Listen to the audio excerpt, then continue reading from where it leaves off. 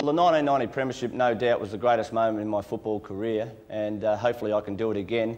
Um, I think prior to the game, you know, our players were really steel in mind to what they wanted to achieve, and I, I didn't really believe that we were going to be beaten on the day. I'd been involved in two losing premierships prior to this, but uh, I really believe we had a good side, we were fit, and we were strong.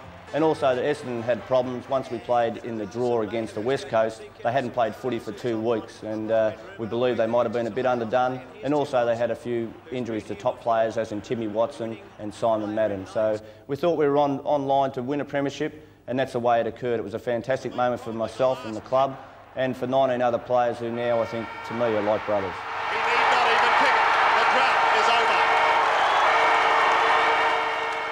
I've been asked a few times what happened when Timmy Watson came up to me after the final siren of the 1990 Premiership. And what had happened was that Timmy came up and just congratulated me on the win. I think he'd realised that uh, I'd been involved in a lot of losing grand finals. He had played in winning grand finals and knew the feeling of uh, being involved in those sort of games. Um, I'd been involved with Timmy off the field and on for over probably 12 years. I'd found him to be a fantastic player, but I also had found him to be a person who had great sportsmanship. And uh, I really thank him for that time. It was a, a, moment which I look back to on the replays and uh, really feel a bit of, uh, what can I say, sportsmanship too, because it was just part of football. And uh, to Timmy, I should think he should be congratulated for that sort of effort. The emotion down there. Great effort by Watson there, giving, embracing Tony Shaw, and now Tony Shaw. What is Leigh Matthews like as a coach and a person? Well, I think there is a little bit of difference there. As a coach, he uh, gains a lot of respect because of the way he played the game himself. I think one thing he's brought to the Collingwood Football Club is a new dimension to professionalism. His preparation before games is just unbelievable. Uh, there's no doubt he brought a little bit of Hawthorn with him, and mainly I think the players just perform because they have great respect for the person as a player.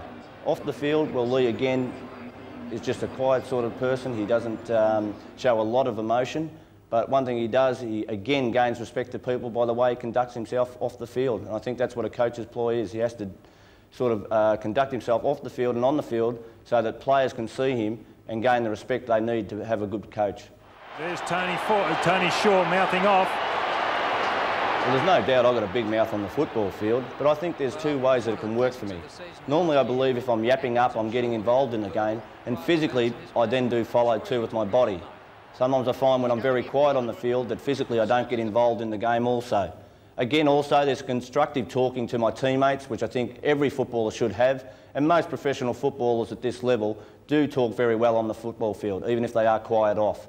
So they're the main two areas of my talking, and I believe it's one thing that I has helped me gain a lot more possessions on the footy field and has helped me improve as a player. But only as far as Tony Shaw, and I think he may have threaded it through. Well, there's no doubt when the time comes for me to retire that I do want to go on with coaching if possible. At what level, I don't know. Um, I do love the involvement of the game, and I'm sure that I'll miss that. Uh, there's other areas I want to improve. I've got a young family who I'd like to spend a bit more time with.